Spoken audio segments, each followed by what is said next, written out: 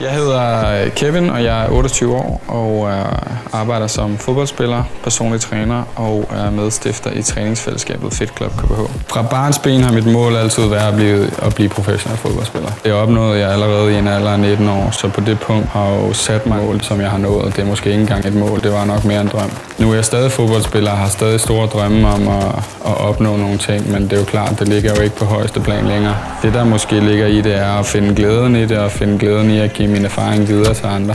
Den største begrænsning for mig er døgnets 24 timer. Øhm, det er jo både positivt og negativt i den forstand, at alle har 24 timer, så man kan ikke bruge det som en dårlig undskyldning. På det andet punkt, så er der også kun en vis mængde, man kan proppe ind i de 24 timer. ISIS går jo ind og hjælper både i forhold til mellemmåltider, øh, men også i forhold til den her sukkertræng, man kan få, når man træner meget.